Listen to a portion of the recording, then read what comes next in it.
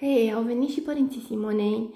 Astăzi au venit uh, părin, uh, tatălui Vlad și cu sora lui, nu? Prietena Cătălinei și părinții Simonei. A mai venit cineva că am auzit băieții și vorbind și despre familia Mariei, dar eu nu i-am văzut.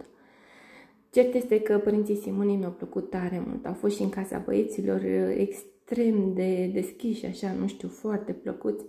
Fratele Simonei este foarte tânăr, uh, Poate îl vedem și pe el într-un sezon următor, cine știe. Mi-a plăcut uh, foarte, foarte mult. Mi-a plăcut foarte mult uh, când i-am văzut în casa băieților. Um, s-au integrat perfect, așa, nu știu, și par niște oameni uh, foarte buni. M-am bucurat tare mult să văd. A venit și cu cățelul. Și e un cățel destul de năzdrăvan, ca să zic așa, lătra, făcea ca toate alea pe acolo. Mă bucur că a venit și cu cățelul pentru că știți că Simona își dorea foarte tare să-l vadă. Acum să vedem ce va fi.